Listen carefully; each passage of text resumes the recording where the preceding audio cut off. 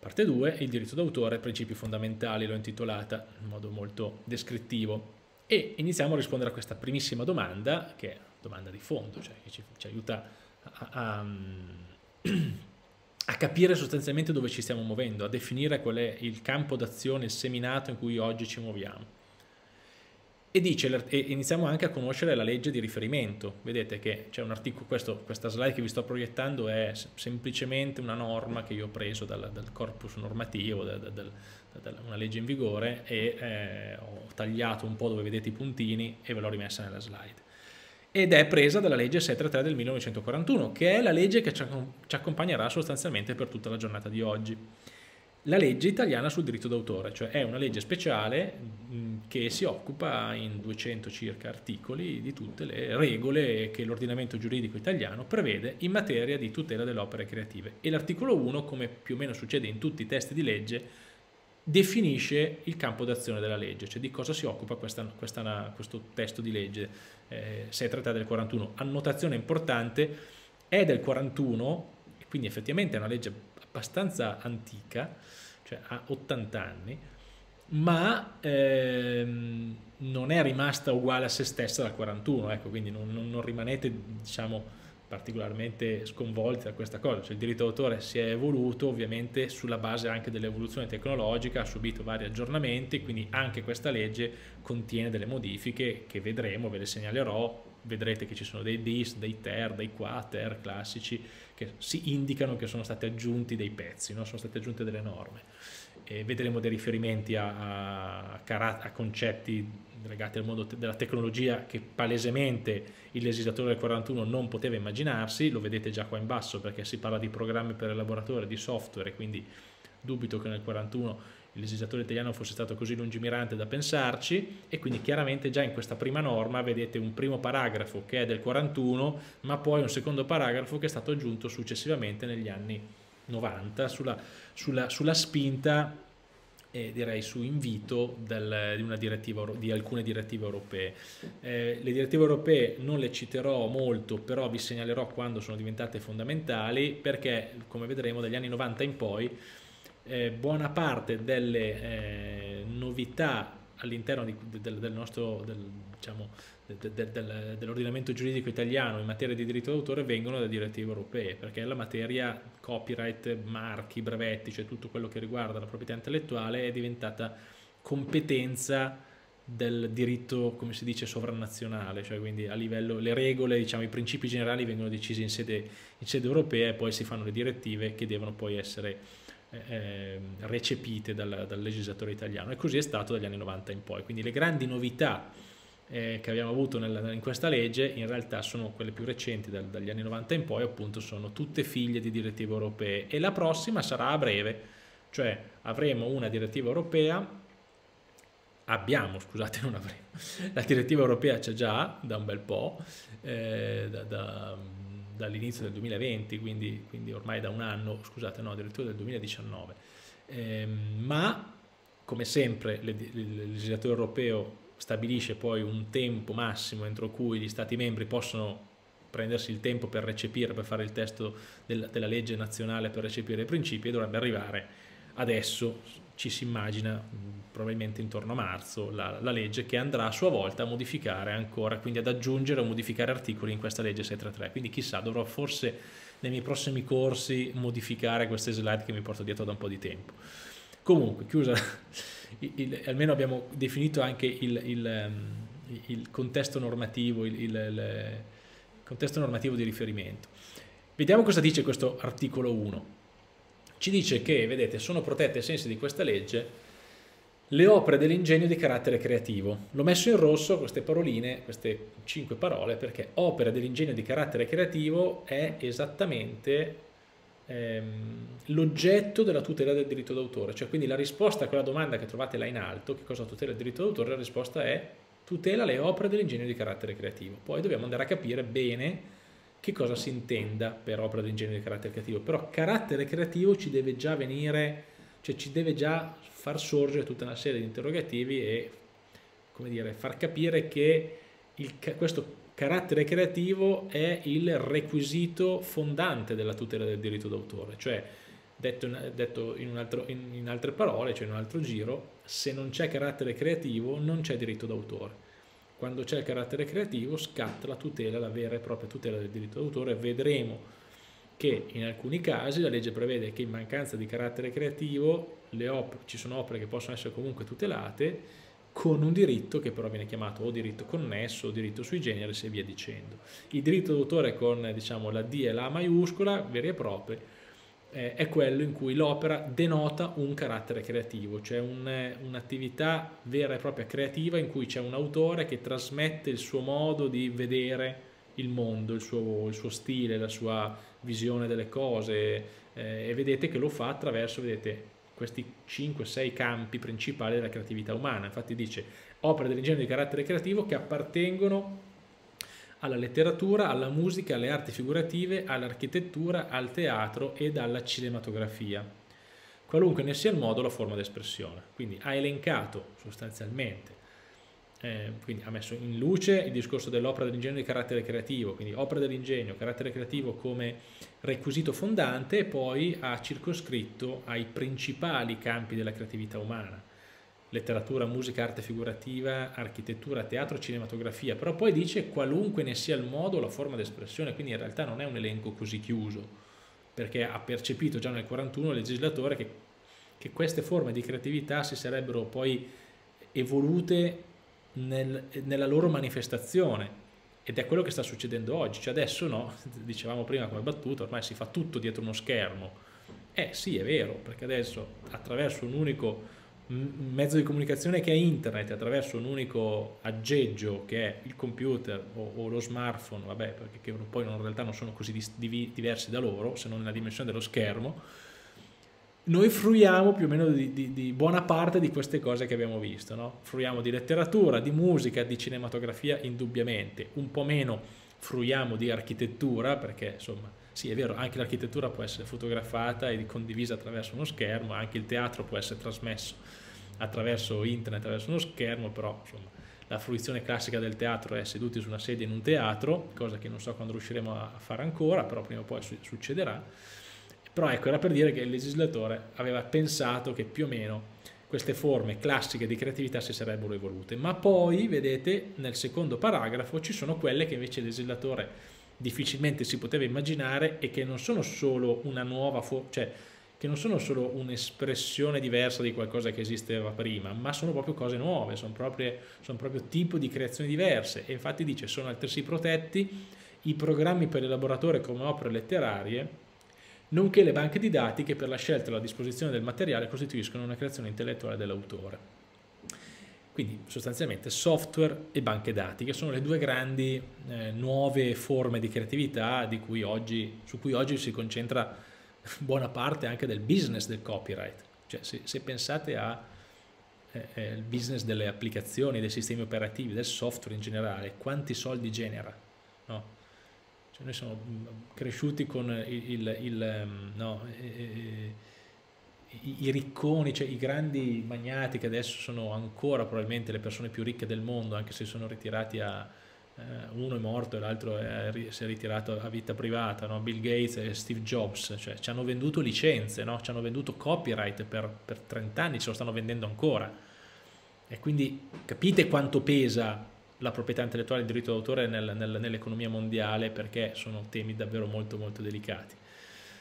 Ehm, guardate questa, sottolineo solamente una cosa perché so che su, tra di voi sicuramente ci sono molte persone che vengono da una formazione letteraria umanistica direi in generale, che dice, eh, cioè che equipara il software alle opere letterarie. Provate a pensare perché lo fa. Non c'è bisogno che mi diate una risposta, però cioè, tra tutte le varie equiparazioni che poteva fare, similitudini che poteva fare, ha scelto l'opera letteraria, cioè il software viene equiparato a un'opera letteraria. Perché non a un'opera di architettura, un'opera grafica, ad esempio, quindi arte figurativa? Perché c'è un motivo in realtà tecnico, che è la, diciamo, il modo con cui si crea il software. Cioè, il software nasce in forma testuale in realtà. Voi, so, ecco, chi, sicuramente chi di voi insegna informatica, si occupa di informatica lo sa, per chi magari viene da formazione letteraria magari eh, cioè, può essere un po' disorientante, ma chi sviluppa software lo fa scrivendo, lo fa scrivendo codice e questo codice è a tutti gli effetti un testo con una sintassi, con delle regole, con un linguaggio, con dei termini che bisogna conoscere, quindi con una lingua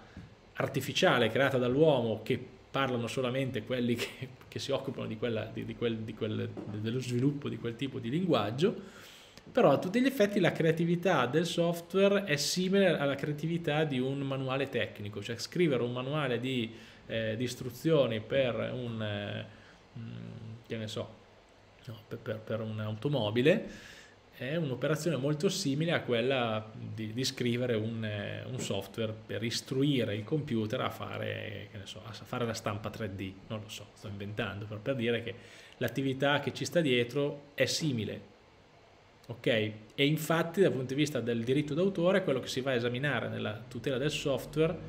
e nelle varie cause che possono nascere sulla eh, eventuale eh, plagio, eventuale eh, contraffazione de, de, del software sono proprio legate al codice sorgente, cioè si va a, a vedere non tanto cosa fa il software no, o l'interfaccia grafica, ma si va a vedere come è stato sviluppato, cioè si va a vedere il cosiddetto codice sorgente, cioè come gli sviluppatori hanno scritto le varie funzioni. Vabbè, ehm, l'articolo 2, che è la norma successiva, non fa altro che scomporre questo elenco che è già stato fatto nell'articolo 1 in 10 sottocategorie. Adesso qua ne vedete 7, nella slide successiva ne vedete altre 10. Era lunga, quindi ho dovuto spezzare in due slide e l'ho già tagliata molto, è una norma molto lunga, però vedete, ecco, queste sono le 10 categorie di opere di cui si occupa il diritto d'autore. Ergo, se, eh, un, se, noi, se ci stiamo interrogando sul fatto che qualcosa possa essere tutelato o meno da diritto d'autore, la prima cosa che devo fare è andare a prendere l'articolo 2 e vedere se rientra in questo elenco. Se non vi rientra, potrebbe rientrarci comunque, diciamo, per similitudine, per eh, no, quello che dicevamo prima, il qualunque ne sia il modo, la forma di espressione. Ad esempio, un sito web è un'opera assolutamente tutelata dal diritto d'autore, non è non c'è in questo elenco di 10, non c'è un punto 11 che parla i siti web, però i siti web sono un mix di opera letteraria perché c'è del testo, è un mix di grafica, un mix di software, un mix di banca dati, quindi comunque il sito web è un'opera che viene, viene, definita multimediale, a volte anche c'è della musica nel, nel sito web, ehm, viene chiamata un'opera multimediale perché appunto prende elementi creativi da varie eh, di, di, vari, di, varia natura li mette insieme, quindi comunque tutelato dal diritto d'autore. Ma se un tipo di creazione non rientra in questi 10 e neanche per similitudine non riusciamo a farcela rientrare, rientrare allora deve essere un campanello d'allarme che, che, ci dice che probabilmente quel, quella roba lì non è tutelata da diritto d'autore, forse è tutelata con qualcos'altro, o forse non è tutelata del tutto. E questo cercheremo di vederlo insieme. Comunque, velocemente, vedete il comma 1, scusate, il punto 1 dice, parla di opere letterarie, drammatiche, scientifiche, didattiche, religiose, tanto se in forma scritta quanto se in forma orale. Questo è uno di quelli che credo vi interessi di più. Cioè fare una dispensa, fare un, una presentazione a slide come quella che state vedendo, fare una lezione, cioè la sbobinatura di, mia, di questo mio webinar genera un'opera letteraria. Quindi anche se io adesso sto parlando, però quella che sto facendo non è un'opera teatrale non è un'opera musicale, non sto cantando. Sto facendo una lezione e questa lezione, nel momento in cui qualcuno la registra e la sbobina, diventa una sorta di manuale sul diritto d'autore, no? di, di vademecum operativo sul diritto d'autore. Ed è un'opera letteraria, anche se resa in forma orale. Un'opera letteraria di carattere didattico perché sto facendo una lezione. Le opere le composizioni musicali con o senza parole, le opere drammatico-musicali e le variazioni musicali costituenti di per sé opera originale, poi punto 3 le opere coreografiche e pantomimiche, il punto 4 le opere della scultura, pittura, arte del disegno, incisione, arti figurative similari, compresa la scenografia,